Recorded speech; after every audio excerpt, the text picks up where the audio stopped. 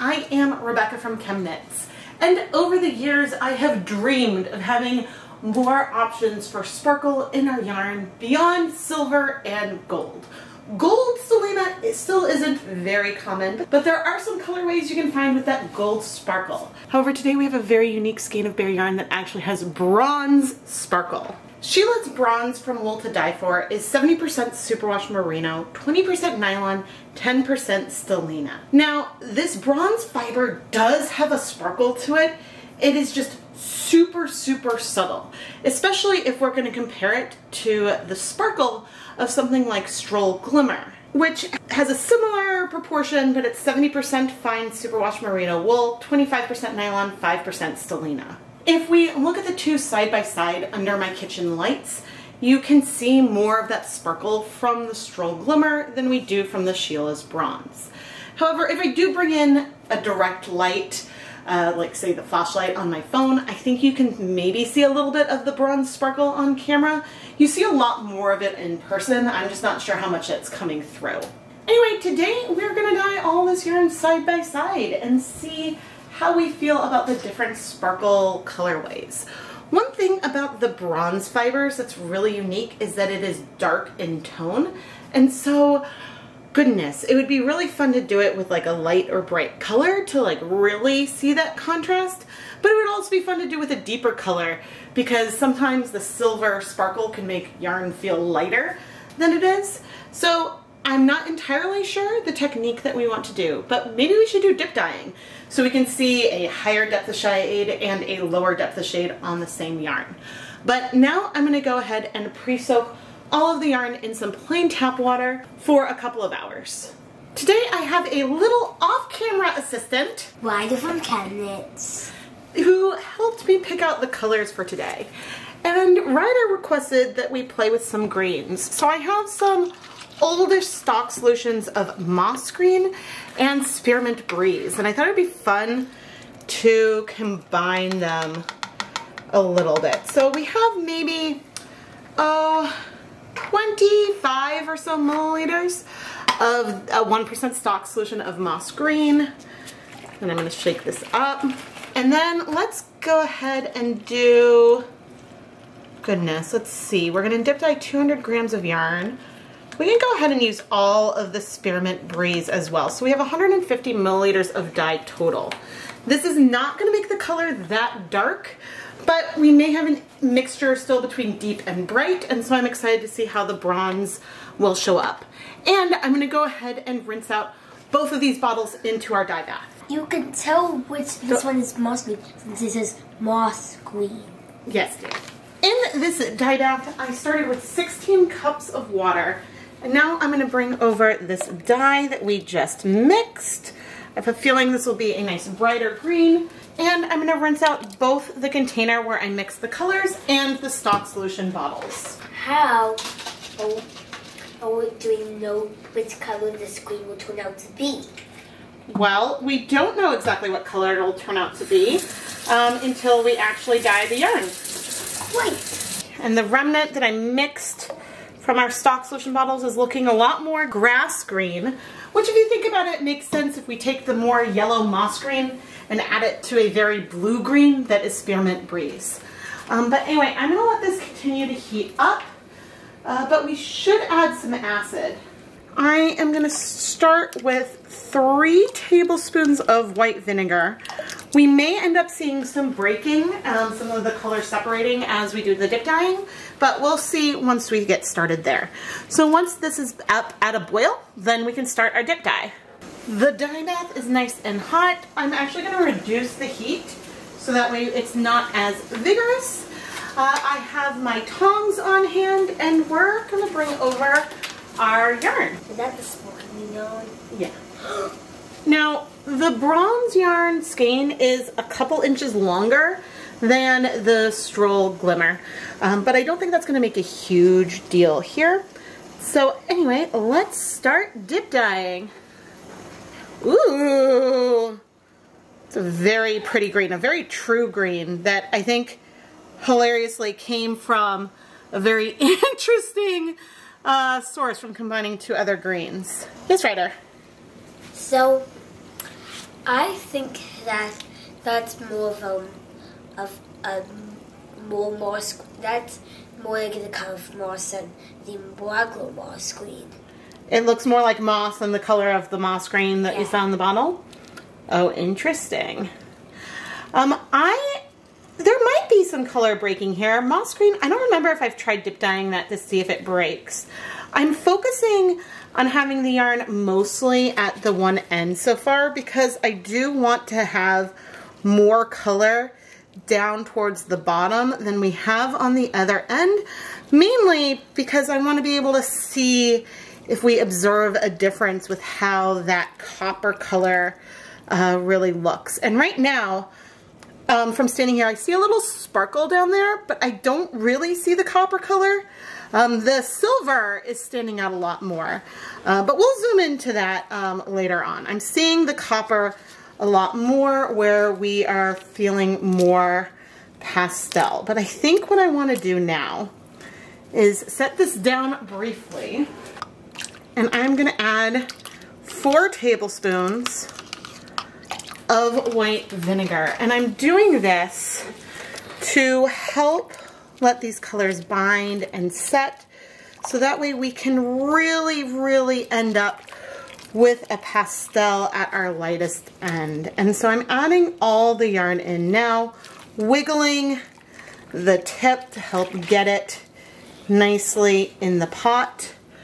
I do see some like really deep elements that maybe are like hints of red that must have been in our in our moss color. I don't know if Spearmint Breeze itself breaks or not. Interestingly, it feels like some of the color is binding more to the Stroll Glimmer, but I can't really say for sure. I'm not gonna add all the yarn and we're gonna heat this for 30 minutes. It's been 30 minutes, let's check on our yarn. Our yarn with our bronze stellina is definitely looking more muted and less bright. There's a hint of some color in the water remaining, not very much. So what I'm gonna do is I'm gonna turn off the heat, leave the yarn in here to cool for a while, uh, and then we can remove it. And once the yarn is cooled completely, then we will wash the yarn. Let's wash our super sparkly yarn which thankfully still looks sparkly, and the water from our dye bath looks clear. When I dyed some fiber that had stellina and a lot of different colors in it, the bronze held up where pretty well, but the bronze there felt a little more sparkly than this one. This one almost feels more like a deep pigment. Let me zoom you in a little bit. I mean, even here you can see a little bit of the sparkle of the silver, and I think that the the bronze stands out a little bit. I do see a little bit of some sparkle in it, but again, it's not as sparkly as the silver is.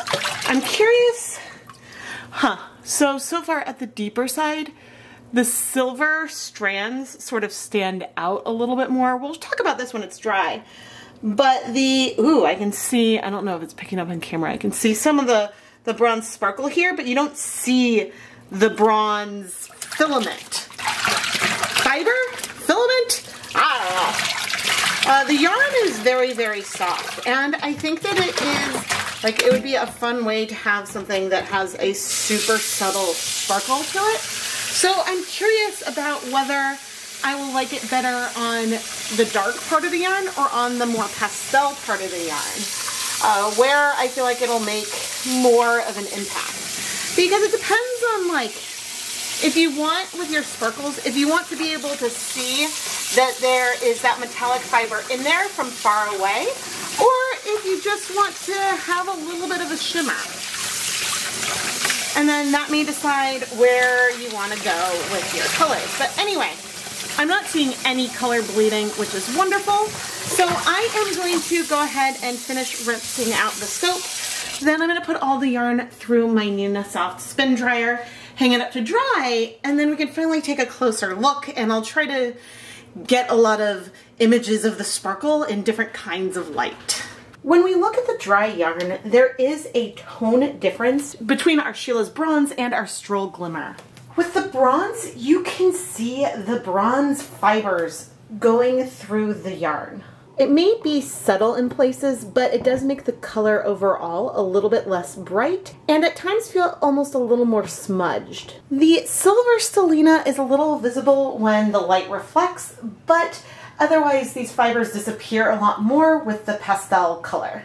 When we start looking at the more saturated yarn, the silver fibers have more contrast and from standing up I can kind of see them a little bit more. This is in contrast to the bronze stellina where that deep color blends in with our deeper greens and so I don't see it nearly as much, especially under soft light like we have right now. I attempted to get some footage of our sparkle with either the silver or bronze stellina in a few different lighting conditions.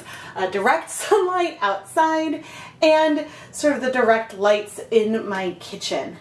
And I'm not sure how much the sparkle was picked up in either of the lights. The Silver stellina definitely reflects more light. It feels more sparkly. I can see it if I'm standing and looking in a mirror. I can see the sparkle there. And the sparkle of the bronze is a lot softer and more subtle. This, when it does sparkle, it has like a reddish hue to it and it's very, very beautiful. I think that you just need a lot more of it in the yarn for whatever you make with it to feel very sparkly.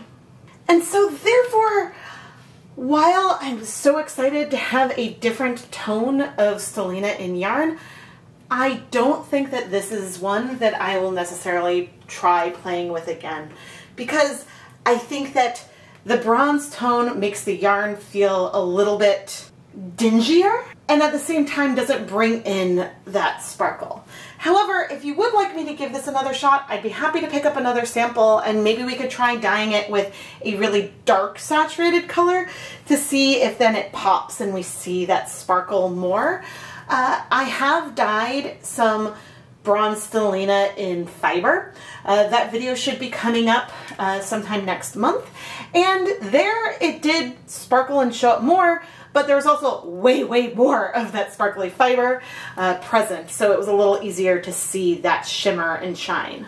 Maybe it's not fair to say that I don't like it because I think that there are elements to it that are really nice, especially if I'm looking at the deeper green patches. Just on the pastel, I'm not as much of a fan. I am Rebecca from ChemKnits and I love to play around with different types of dyeing techniques and yarn bases and if you want to see more please subscribe and turn on notifications so you don't miss any new videos.